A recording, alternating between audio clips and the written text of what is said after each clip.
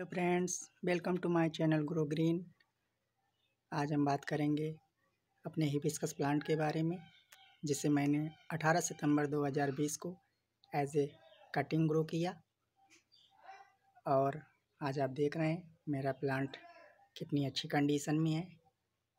ढेर सारी बर्ड्स और ढेर सारे फ्लावर्स के साथ मेरे प्लांट का लुक बहुत ही सुंदर दिखाई पड़ रहा है। और चूँकि ये एक रेनी सीज़न है और रेनी सीज़न में आप भी ढेर सारी कटिंग्स को डेवलप कर सकते हैं और अपने गार्डनिंग में ढेर सारे प्लांट्सों को बढ़ा सकते हैं।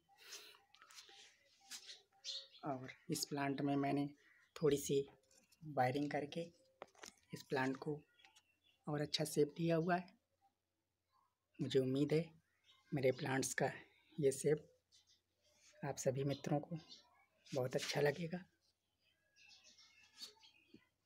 अगर मेरे प्लांट्स का ये लुक और मेरा वीडियो आप सभी को अच्छा लगे तो लाइक करें कमेंट्स दें और मेरे चैनल को सब्सक्राइब करें।